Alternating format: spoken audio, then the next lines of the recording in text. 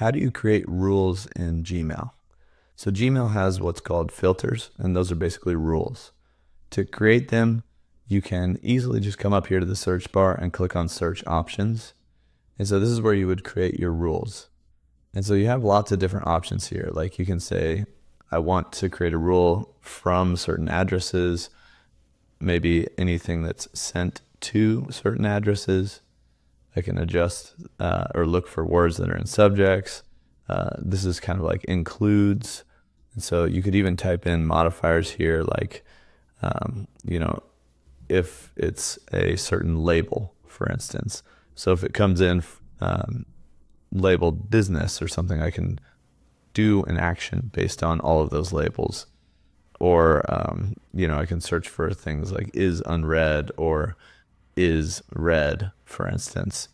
But we can also look for things that it doesn't have. And so if I want to search for anything that, uh, any email that doesn't have the word like unsubscribe in it or something like that, I could set up a filter for that. You can also filter sized emails. So if you maybe want to set up like a folder for any email that's over 10 megabytes, so you can easily find those later. Um, it's easy enough to search as well here. You can also filter for uh, emails that are sent within a certain time frame. And then this will be like a filter that searches all mail or specific mailboxes. Um, and there's a few other options down here. But let's go ahead and just set up a sample filter. Maybe I want to filter everything from this email.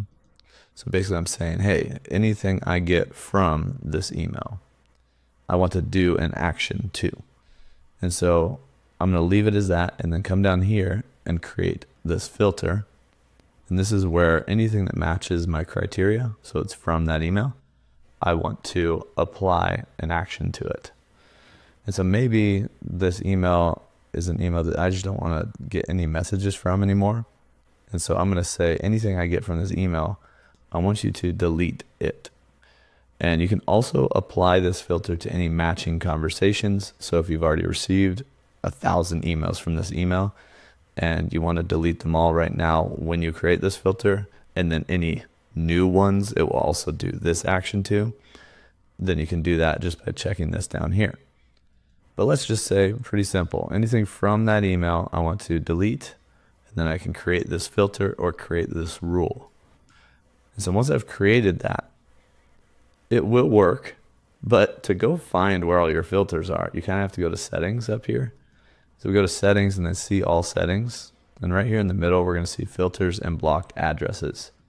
So we click on that and we can see all of the filters here in the top section that we've created on our Gmail account.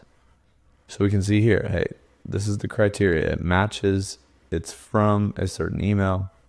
What is it going to do? It's going to delete it. I can go back and edit that filter pretty easily just by clicking this edit button. And I can also delete the filter by deleting it here. If you want to do something to multiple filters, you can go through and like select multiple. And then you have some buttons down here like exporting them or deleting them all, for instance. And so that's, you know, basically rules here in Gmail is filters in Gmail. And so you can essentially filter things to different folders you have set up, like with labels or different inboxes, and really take control over uh, your email here in Gmail by creating rules or, in this case, creating filters in Gmail.